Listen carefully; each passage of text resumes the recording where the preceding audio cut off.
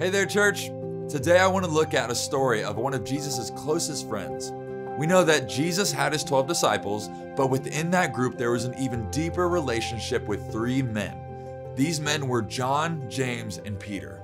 There is perhaps no one I relate to more in the Bible than Peter. He was always the one to jump into conversations at the most inconvenient times. You never knew if he was going to say something wise beyond his years or something that was completely unrelated. Peter was always a wild card. And here's an example of what I'm talking about. In Matthew chapter 16, Jesus asked his disciples perhaps the most important question that we could ever be asked.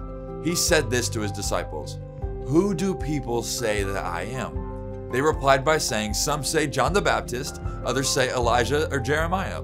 So Jesus asked this Who do you say that I am? Let's stop there. We know that there's a lot of right answers to this. But the way that you answer this question will be very telling as to how you personally see Jesus. If you were asked this question, how would you respond? To you, is Jesus just a good person? Is he generous? Is he a healer? Is he just a friend? These are all good things, but are not fully correct. We know this because Peter gives the correct answer right after. He says, You are the Messiah, the Son of the living God. Let me remind you that this was not a question that Jesus asked only Peter. He asked all of his disciples. Yet for some reason, Peter was the only one that was bold enough to take a shot at answering. And Jesus replies back to Peter by saying this You are blessed, Simon, son of John, because my Father in heaven has revealed this to you. You did not learn this from any human being. And now I say to you that you are Peter, which means rock. And upon this rock I will build my church, and all the powers of hell will not conquer it.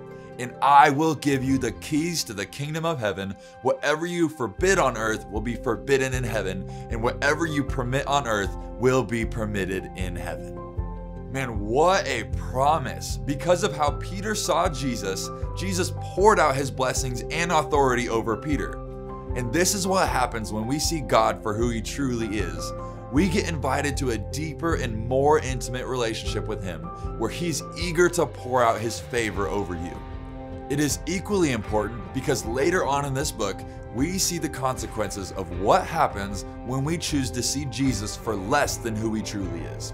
So I want to invite you to come back tomorrow for part two of this mini series where we're talking more about the life of Peter.